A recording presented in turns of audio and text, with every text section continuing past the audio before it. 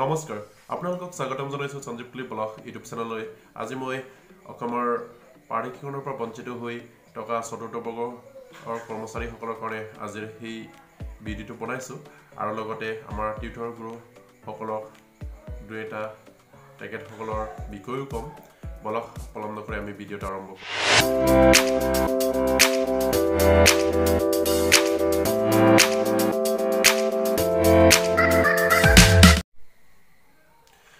নিশ্চয় অলৰেডি গম পাইছেই। নিউজ বা কোনোবা নিউজ পেপাৰত দেখিছেই।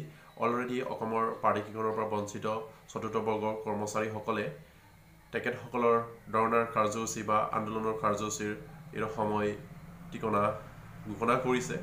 তেখেতসকলে চৈধ্য মাৰ্চত গুৱাহাটীৰ লাষ্ট গেটত ধৰ্ণা কাৰ্যসূচী গ্ৰহণ কৰিব বুলি তেখেতসকলে এখন কোনোবা নিউজ পেপাৰত তেখেতসকলৰ সেই খবৰটো অসমৰ বিভিন্ন জেগাত থকা চতুৰ্থ বৰ্গৰ কৰ্মচাৰীসকলৰ সহযোগ কৰিবলৈ নিমন্ত্ৰণ জনোৱা হৈছে আৰু আপোনালোকে সেই আন্দোলনত নিশ্চয় সহযোগ কৰক। কাৰণ আজি অসম চৰকাৰে এই পাৰিকীকৰণৰ পৰা বঞ্চিত চতুৰ্থ বৰ্গৰ কৰ্মচাৰীসকলক নিযুক্তি দিম দিম বুলি কৈ এতিয়ালৈকে নিযুক্তি দিব পৰা নাই। আৰু তেখেতসকলৰ সেই দুৰ্ভাগ্যটো হয়তো নিশ্চয় আপোনালোকে উপলব্ধি কৰিব পাৰিছে। অসম চৰকাৰে কি কৰিব লৈছে বা তেখেতসকলে অসমৰ অসম চৰকাৰৰ সেই সিদ্ধান্তবিলাক সঠিক যেন আমি ভবা নাই বা তেখেতসকলৰ কাৰ্যপত্ন সঠিক যেন লগা নাই। সেইকাৰণে আপোনালোকে যি কাৰ্যসূচী লৈছে অতি ভাল কাৰ্যসূচী গ্ৰহণ কৰিছে বুলি মই ভাবোঁ আৰু আপোনালোকে জোৰদাৰ কাৰ্যসূচী ইয়াত অংশগ্ৰহণ কৰক। বিশেষকৈ এম ই স্কুলৰ যিসকল চতুৰ্থ বৰ্গৰ কৰ্মচাৰীসকল আছিল তেখেতসকলক নিযুক্তি দিয়া নাছিলে। আৰু সেইকাৰণে তেখেতসকলে সেই কাৰ্যসূচীটো শলাগ ল'বলগীয়া। তেখেতসকলে তেখেতসকলে বাৰে বাৰে মুখ্যমন্ত্ৰী শিক্ষামন্ত্ৰী আৰু বিভিন্ন শিক্ষা বিষয়াক লগ কৰিও সুফল পাবলৈ সক্ষম হোৱা নাই। মানে এতিয়ালৈকে নিযুক্তি পত্ৰ তেখেতসকলক প্ৰদান কৰা নাই। কিন্তু তেখেতসকলক আশ্বাস দিয়ে আছে যে আপোনালোকৰ নিযুক্তি এই অতি সোনকালে দিয়া হ'ব। আমুক তাৰিখে আমুক দিনত সেই বুলি তেখেতসকলে কোনো দিন তাৰিখ ঘোষণা কৰা নাই। সেইটো কাৰণে মই চতুৰ্থ বৰ্গৰ কৰ্মচাৰীসকলক অনুৰোধ জনাম। আপোনালোকে নিশ্চয় সেই কাৰ্যসূচীত অংশগ্ৰহণ কৰক আৰু নিজৰ প্ৰাপ্যৰ অধিকাৰ সাব্যস্ত কৰিবৰ কাৰণে চেষ্টা কৰক।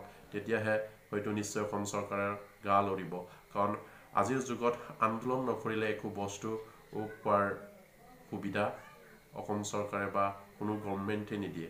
সেইটো কাৰণে আমি গণতন্ত্ৰ বাবেই আন্দোলন কৰিব লাগিব। আমি গণতান্ত্ৰিক দেশত আছোঁ যেতিয়া গণ আন্দোলনেই এই শেষ উপায়। সেইটো কাৰণে আপোনালোকে জোৰদাৰ আন্দোলন কৰক। নিজৰ সময় কাৰ্যসূচী নিউজ পেপাৰত অলৰেডি দিয়া হৈছেই। আৰু মই আৰু এবাৰ অনুৰোধ কৰিম এই চতুৰ্থ বৰ্গৰ কৰ্মচাৰীসকলক আপোনালোকে সেই আন্দোলনত নিশ্চয় অংশগ্ৰহণ কৰক।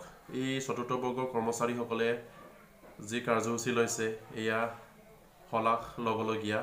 এতিয়াৰ সময়ত কাৰণ তেখেতসকলক নিযুক্তি পত্ৰ দিম দিম বুলি কৈ আজি পৰ্যন্ত দিব পৰা নাই। সেইকাৰণে তেখেতসকলে আন্দোলনৰ দিন তাৰিখ ঘোষণা কৰি দিছে। আৰু আমাৰ অসমৰ টিউটৰ শিক্ষকসকলে আজি পৰ্যন্ত তেখেতসকলৰ টিউটৰ পৰা শিক্ষকসকলে উন্নতি কৰিবৰ কাৰণে কোনো আন্দোলনৰ দিন তাৰিখ ঘোষণা কৰা আমি দেখি পোৱা নাই। তেখেতসকলক মোৰ ইউটিউব চেনেলৰ ফালৰ পৰা এতিয়া অনুৰোধ কৰিম। আপোনালোকে বহি নেতাকি এটা দিন তাৰিখ ঘোষণা কৰক কাৰণ এটা অধিৱেশন চৈধ্য মাৰ্চৰ পৰা আৰম্ভ হ'ব। সেই বাজেট চলি থাকোঁতে আপোনালোকে এটা ধৰ্ণা কাৰ্যসূচী লওক তেতিয়া নিশ্চয় আপোনালোকৰ পথ সুগম হ'ব বুলি মই ভাবোঁ। আপোনালোকৰ সমস্যাবিলাক ৰাইজৰ আগত যদি এয়া আমি প্ৰচাৰ নকৰোঁ বা ৰাইজে যদি গম নেপায় অসম চৰকাৰে গম পায়ো যদি গম নোপোৱাৰ বাও জুৰি থাকে তেনেহ'লে কামবিলাক কেনেকৈ বা কেনেকৈ আগুৱাই যাব সেয়া অতি লক্ষণীয় বিষয়। সেইকাৰণে আপোনালোকক কাঠৰ এটা অনুৰোধ কৰিম মই আপোনালোকে বহি নেতাকি এটা দিন তাৰিখ ঘোষণা কৰক সেই চৈধ্য মাৰ্চৰ পৰা আৰম্ভ হ'বলগীয়া গ্ৰীষ্মকালীন বাজেটৰ দিনবিলাকৰ ভিতৰত। কিয়নো আন্দোলন কৰিলে নিশ্চয় আপোনাৰ বা মোৰ প্ৰাপ্যৰ পাবলৈ সক্ষম হ'ব। অসম চৰকাৰে নিশ্চয় মানি ল'ব। আৰু নিউজ চেনেল বা নিউজ পেপাৰত আপোনালোকৰ সেই আন্দোলনৰ দিনৰ দিন কাৰ্যসূচী ঘোষণা কৰিব বুলি মই আশা কৰি থাকিলোঁ। আৰু অসমৰ সকলো তীৰ্থৰ শিক্ষকলৈ মোৰ এটা কাটৰ অনুৰোধ আপোনালোকে বহি নাথাকি আন্দোলনৰ পদক্ষেপ গ্ৰহণ কৰিব বুলি মই আপোনালোকলৈ অনুৰোধ থাকিল। আৰু সকলো টিউটৰ শিক্ষকে এই আন্দোলনত সহযোগ কৰক। কাৰণ আন্দোলন কৰিলেহে আপোনাৰ নিজৰ প্ৰাপ্য পাবলৈ সক্ষম হ'ব। কাৰণ আজিৰ যুগত এঠাই কাৰ্যসূচী যিটো কাৰ্যসূচী ল'লে আমি টিউথৰ পৰা টিচাৰলৈ উন্নতি হ'ব পাৰোঁ সেই কাৰ্যসূচী গ্ৰহণ কৰাটো খুব খুব জৰুৰী। সেইকাৰণে আপোনালোকক কাটৰ অনুৰোধ কৰিম। আপোনালোকে দিন বাৰ ঠিক কৰি নিউজ পেপাৰ বা টক শ্ব' কৰি সেই দিনবাৰ ঘোষণা কৰক। তেতিয়া অসমৰ চুকে কোণে থকা সকলো টিউটৰ শিক্ষকী এই আপোনাৰ নিজৰ প্ৰাপ্যৰ অধিকাৰ সাব্যস্ত কৰিবলৈ ওলাই আহিব বুলি মোৰ ধাৰণা।